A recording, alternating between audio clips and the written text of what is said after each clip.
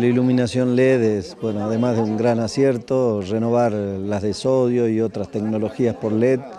Eh, primero, se consume menos, eh, tienen mucha más duración, es una tecnología que, tiene menos costo de reposición, eh, pero además ilumina mejor y, en términos de seguridad yo creo que es un paso cualitativo importante. Así que, bueno, Yala junto a otros tres municipios más son los que pudieron enganchar este programa nacional que trabaja, esto es un aporte de nación, que trabajamos junto con provincia y municipio.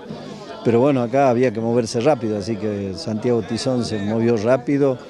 Ya, ya cambiaron el 70% del sistema acá en la jurisdicción de Yala.